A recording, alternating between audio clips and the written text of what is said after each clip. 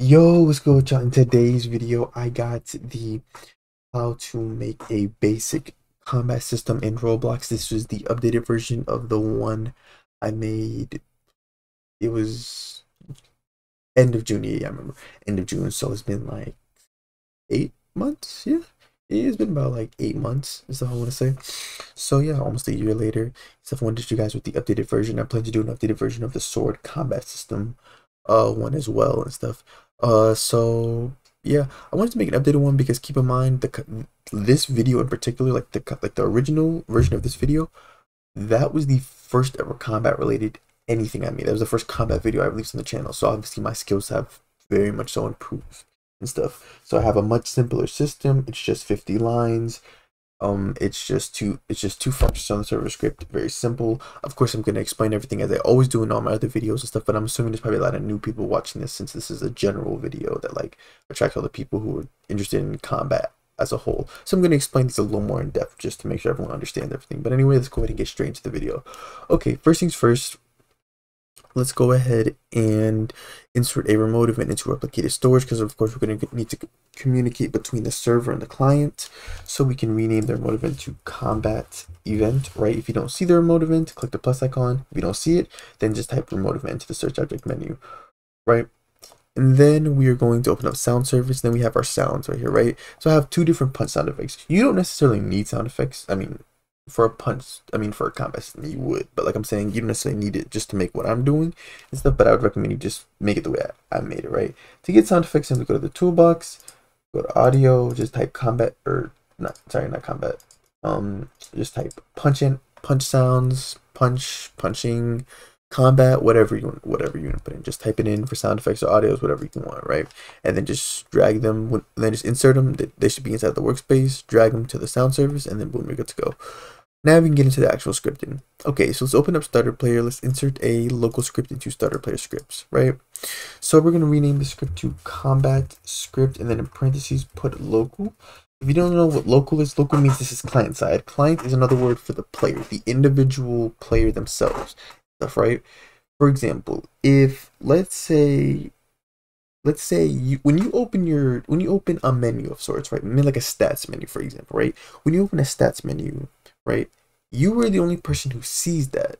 Eh, like when you press M, not every like it's not like you press M and every other player in the server sees the stats menu pop up on, on their menu and they see all your stats. You only see yours. That is what we call a client side. You can say a client side function or or event, whatever you want to call it, right? That's client side, right? Server side is the entire server. In other words, all of the players on top of the server. It's kind of it's kind of a little difficult to understand because it's like the server is technically a combination of all the players, while at the same time the server and client individual clients are different. But just think of it like this: client is individual player, server is all the players. So this is what we're doing on the client side. So let's delete print hello world. We're going to create a couple variables. First, let's get the user input service. We're going to say local UIS is equal to game get service user input service the user input service as you can tell by the name is used to detect um whenever a play any type of uh, player input and stuff. So I'm making a basic combat system. So I decided to just make it similar to like an M1 system where you just left click with the mouse button and stuff. And obviously, you know, left click on the mouse is a, is a form of user input. So we're going to be able to use the service to set up a function with it, right?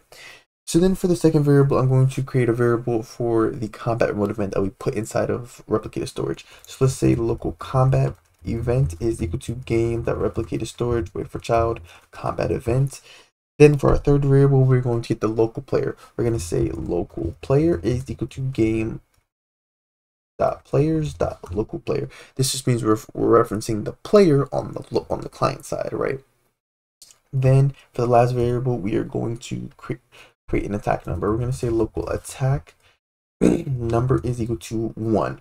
This is so we can keep track of which animation we need to use. Whether or not like, okay, so if it's one, then then okay, throw a left punch, and then it'll change to two. Then okay, if it's since it's two, then we throw a right punch, and then since it's two, it'll reset back to one, and it'll keep that cycle going. Left punch, right punch, left punch, left punch, right punch. Similar to my M1 system, if you watched that uh, video and whatnot, right? So let's go ahead and set up the function. So we're gonna say UIS. The input began connect function. In parentheses, you're going to put input, comma, processed. Then enter, you're going to say if input, right? that user input type is equal to enum that user input type that keyboard, which means you're pressing uh any of the you know any of the buttons on your keyboard, and not process, which means you're not typing in chat. Because obviously you wouldn't be able, you wouldn't want to accidentally. Oh, sorry, I'm sorry, guys. I don't know why I put keyboard. I'm sorry. Ignore it. What I said. Well, what I said with the was that what I said was right, but I meant to do mouse button one, not keyboard. But anyway, so mouse button one and not processed. So this is make sure that we're not clicking while the chat is open, right? And then we're gonna add one more thing. We're gonna say and player dot character dot combat. I know how to spell combat status dot value, right? Is equal to blank quotation marks. So I have a video that that focuses on combat statuses. It's ironic because like as I'm recording this, it's not out, but by the time this video is out, it'll already have been out. But anyway, I have a video that focuses on combat, like how to make a combat status system stuff, so you know whether or not like what a player is doing. They're blocking, if they're just doing nothing, if they're attacking, what type of attack they're using and stuff. I have a video that covers that, so I, I go more in depth with it there and stuff. The whole point is what you need to understand is we need to know when a player is um not is not using an attack. Like you don't want players to be able to like you know throw a left punch, but then in the middle of throwing the left punch, they throw a right punch. Like, like it shouldn't be possible, right? So you need to add a check. This is to make sure that they're like they've if they were attacking, they already finished, or they're just not attacking, there or just haven't attacked yet, right? So then we can give the green light for them to you know begin attacking. So enter. You're gonna say if attack number is equal to one enter, you're going to say attack number is equal to 2, right? Simple system. Then we're going to fire the remote event. We're going to say combat event fire server in quotation marks. We're going to put the name of the event. I'm just going to put M1 because it pretty much is an M1 system.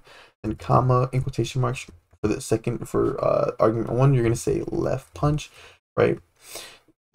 It's important to, you know, specify which animation we need. That's literally the only difference between the events, really. Then we're, then we're going to type the word else and then you're just going to copy and paste all this. So highlight it, control C, control V, right? You're going to change this to 2, and you're going to change this to 1. Like You're essentially just swapping the numbers back, right? And then you're going to change this to right punch, right? It's that simple. Now we can head on over to the server side. Let's go ahead and insert a server script into server script service, right? You're going to, of course, need two animations to insert, to create animations. Not, okay, how do I explain this? Okay to create the actual animation like this this this not not not to create an animation. Like i'm trying not to confuse people. Okay not the actual process. I'm not referring to the actual process of creating animation. I'm just talking about how to create an animation like this right? Like the like the the instance right? So you would click the plus icon you would type animation right? You would rename it because uh key thing these names have to match. The name of the animation has to be like they have to match the name of uh, the argument. So you see how they match exactly they need to match.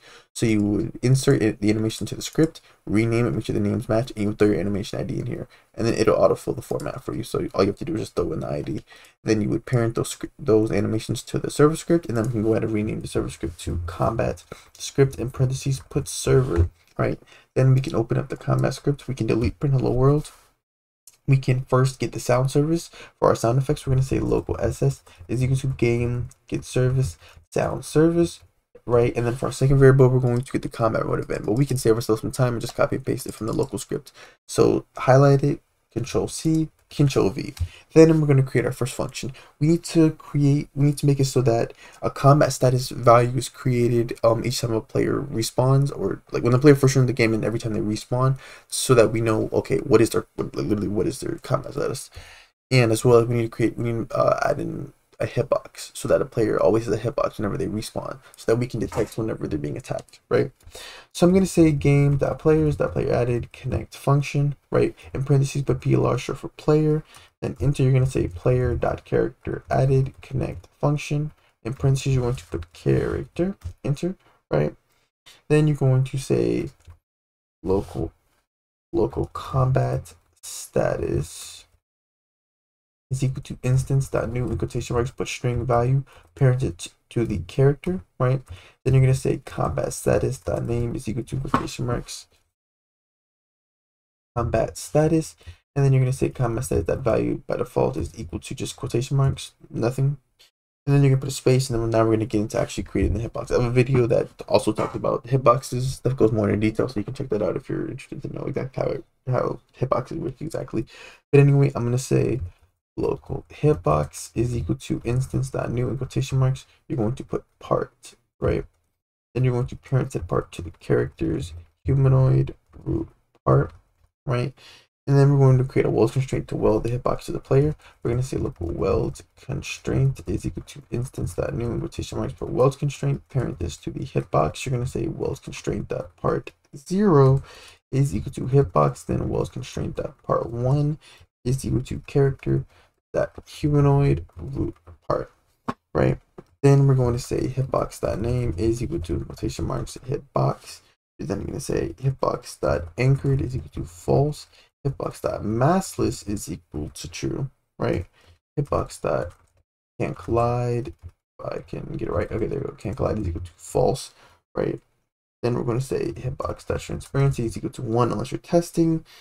Hitbox dot size is equal to um vector three dot new. You can mess around with this number, but I went with five comma six comma five point five, right?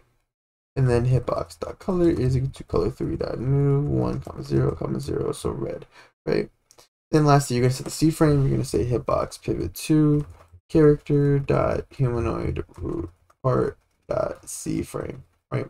That's simple. Now we can get into the second function. We can say combat event dot on server event connect function right? In parentheses you want to put event or sorry put player the plr short for player then comma event type comma arg1 which is short for argument number one which is just generally is just what we refer to as information we passed from either the local script to the server script or the server script to the local script. In this case it's the local script to the server script.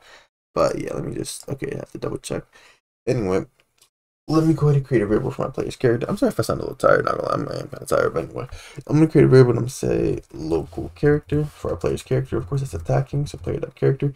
Then we're gonna set up the event we're going to say if event type is equal to quotation marks m1 and character dot combat status dot value is equal to you know just blank quotation marks which means player is you know able to be attacked then enter i mean sorry is able to attack enter you're then going to set the value you're going to say you're going to actually let's just copy and paste this save ourselves some time you just control c control v i'm all about saving time delete one of the equal signs uh put the quotation marks then you're going to put uh, attacking right then you're going to set the animation track. We're going to say local AT is equal to character dot humanoid load animation.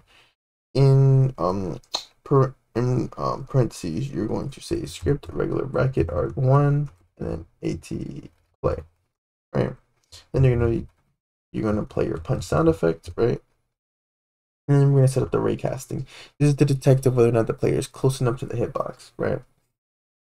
If it's or generally like they're close to it and also like they're facing the right direction. Like I wouldn't it wouldn't really make sense for you to like be like facing the opposite direction, like have your back to somebody, but be able to punch them just because you're close. Like that doesn't really make sense. But anyway, we're gonna so we're gonna set the start position. So where we want our reader start. So start position. I also have a video on raycasting if you want to check that out. I have videos on like everything if you couldn't already tell. But anyway, start position is equal to um character dot humanoid root part dot hitbox dot position, right? Then our direction is let's just copy and paste this, ourselves some time. Control C, Control V, hitbox dot C frame dot look vector, right? Then we're gonna create our raycast param or parameters, params for short. Local raycast params is equal to raycast params dot new enter, you're going to say raycast params dot filter type is equal to enum dot raycast filter type dot exclude, then raycast params dot uh, filter descendant instances is equal to special brackets character get descendants, right? Then after that, we've set up all the stuff. Now we can cast array. We're going to say local array is equal to workspace ray cast. For the origin, put your, uh, sorry, not direction, put your start position so start position, comma, then throw your direction. Then lastly, throw your raycast params. Boom. Then you're gonna set up an if statement. You're gonna say if ray, if ray, make sure of course the ray, you know, the ray worked, and ray dot instance to confirm that. Okay, that's actually gonna annoy me. Anyway, to confirm that it's actually uh, you know intersected, make contact with an actual instance, right? And ray dot instance dot parent find first child humanoid. So it's either an NPC or a player. Then enter, and then you're to create a variable for the enemy character. You're to say local enemy character is equal to ray dot instance dot parent. Then you're gonna say enemy character dot humanoid dot health is less than I don't know like five or however much damage you're trying to do, right? Then you're going to you know put your punch sound, your second punch sound, right? And then actually, there's something I actually forgot to mention. That it's ironic because I actually forgot to mention this the raycasting video. Anyway, you're gonna do. You're gonna go up here, go to the direction. You're gonna put times three, right? So this is so that you want like you want it to be in front of you, but you also want it to be like a little bit of you know distance away from you. Like the person doesn't need to literally be like you know, in kissing range and stuff, because it's kind of crazy to like have your ops like in your face, you know what I'm saying? So you want them to be like be within a certain amount of distance and stuff. You can adjust this number to determine whether or not you want them to be this close or that close, if that makes sense. The bigger the number, the bigger the range. So pretty much if you set this to like 30, you could be you could pretty much be knocking people out from across the street. That's pretty much how to explain it, right? So then for the last bit that we need to do, we're gonna go after this end and we're gonna skip, we're gonna put space between, we're gonna say AT, the animation track that ended. It's when anima animation track ends. Connect function, right? Close parentheses, enter. Once the animation track ends, we're going to simply just say character that combat status that values equal to just go take regular quotation marks. This is pretty much just resetting it back to its default so that we know, okay, the player is no longer attacking, they are good to attack now, so that it doesn't interrupt. Because if we didn't include this, it, you could pretty much be able to interrupt the animation and stuff. It would just glitch. So this is just to prevent any issues and stuff. yeah, this is an updated version of my how to make a combat system. Let's go ahead and test to make sure everything works. I really hope you guys enjoyed the video. If you did, um, you guys can get access to any of my scripts or models, including this one, if you purchase one of the subscriptions. Link can be found in the description for either my Discord one or my uh, YouTube channel one, whichever one you know you prefer. Whatnot. So definitely recommend it. Got got about like I think 60 members. Yeah, 60 members now, and everyone is happy with what they got. And you let's go into okay, and just remember, I'm I am an idiot. Okay, so we needed a rig to test this on. So let's click Avatar Rig Builder and throwing in throwing NPCs the NPC so we can test, right? Um, if you guys want a part two of this, where I show you guys like how to make like you know some damage effects where like they're red and all that to indicate like you know damage. Like even though you know they're getting damage, you see their health, but like you know just some visual effects via scripting. Then just let me know. I got you. I got you on a part two of the updated version. Okay, so we have our rig right here. If I try to throw a punch from this this from this to damn I can't talk tonight anyway from this distance obviously it's not to work now maybe in your game you would want it to work and if that's the case simply increase the range no biggie, right? But most games you would want to, you know, be somewhat, you would want to be pretty close. So now, some might argue this is extremely close, but some argue that this is extremely close. While my hands are actually technically touching just a little closer, and there we go, right? So maybe maybe increase it to like four, maybe maybe do four, but it's up to you, right? So as you, as you guys can see, it's very reliable. For anyone who's watched my other videos, using raycasting with hitboxes is so much more reliable than, than touch, and it's so much easier because you don't have to worry about get people getting double hit. But yeah, you guys hear the sound effects, you see they're you see taking damage. There you go. That's you make a basic combat system. Congrats, you just made your first com basic combat system. Um, if you need help, have any issues or anything, feel free to join my Discord server as like I said, if you want access to the scripted model or any of my other scripted models, you guys can become either a channel member or a Discord subscriber.